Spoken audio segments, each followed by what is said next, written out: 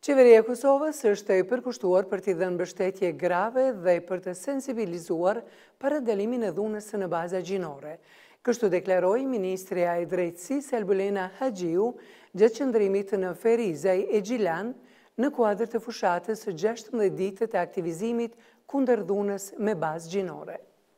Në kuadër të fushatës gjashtëmbëdhjetë ditët e aktivizmit kundër dhunës me barazi gjinore, ministrja e Drejtësisë Albulena Haxhiu vizitoi Qendrën e Sigurisë Shtëpia ime në Ferizaj.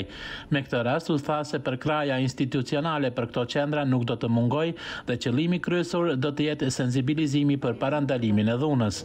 me qëllimin kryesor që të sensibilizojmë opinionin publik për rreziqet, sfidat dhe në anën tjetër qëllimi kryesor i kësaj është parandalimi i dhunës në familje, dhunës në baza gjinore, dhunës ndaj grave, por në anën tjetër edhe thirrja për, si me thënë, mos neglizhencë të rasteve të dhunës në familje, gjithsesi për veprime institucionale Për parandalimin e dhunës në familje, dhunës në baza gjinore dhe dhunës ndaj grave.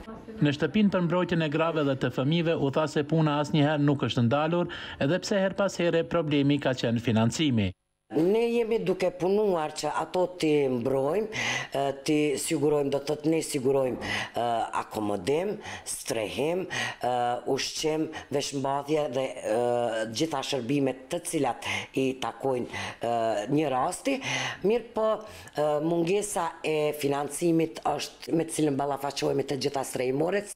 Ministrja Haxhiu sot ka vizituar edhe Strehimoren në Gjilan. Në kuadër të kësaj fushate janë paraparë shumë aktivitete.